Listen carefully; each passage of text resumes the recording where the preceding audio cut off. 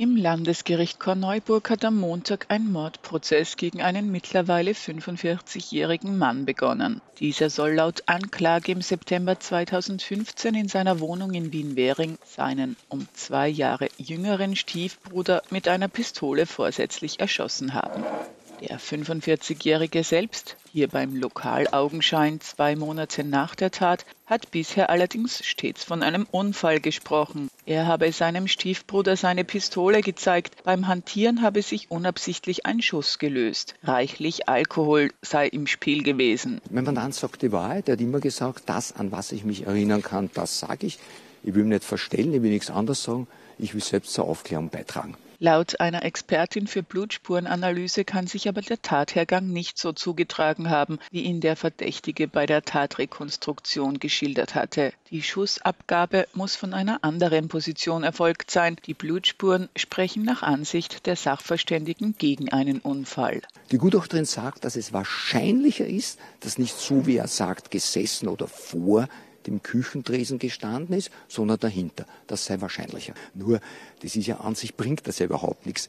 Denn ich kann unabsichtlich im Glauben, ist es keine Patrone im Lauf abdrücken, vor oder wohinter, wo ich stehe, wenn ich äh, betrunken bin. Das kann ja an sich zur Aufklärung überhaupt nichts beitragen, Sachverständiger. Das Motiv für die Tat Eifersucht, so zumindest die Staatsanwaltschaft. Der Angeklagte sei davon ausgegangen, dass seine Frau, mit der er bis 2015 verheiratet war, mit seinem Stiefbruder ein sexuelles Verhältnis hatte. Dafür gibt es allerdings keine Beweise. Man beruft sich dabei auf WhatsApp-Nachrichten, die mein Mandant mitgelesen haben soll. Das geht gar nicht, das wird nicht synchronisiert. Aber sogar wenn er sie gelesen hat und Sie würden, Frau Redakteurin, lesen diese Nachrichten, würden Sie am Schluss nur einen Satz sagen. Wo soll da eine Eifersucht herkommen? Und da eben diese Frau eine bei der Staatsanwaltschaft Wien tätige öffentliche Anklägerin ist, wurde der Prozess aus Befangenheitsgründen nach Korneuburg delegiert. Jetzt erst, eineinhalb Jahre nach der Tat, kann die Verhandlung stattfinden. Er war zuerst in Haft. Danach wurde er acht Monate enthaftet, weil man immer ein Motiv gesucht hat, keines gefunden hat.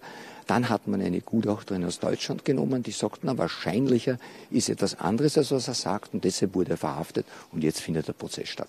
Auf der Zeugenliste findet sich die Ex-Frau des Angeklagten aber überraschenderweise nicht. Zu Prozessbeginn hatte der Angeklagte den Tötungsvorsatz bestritten.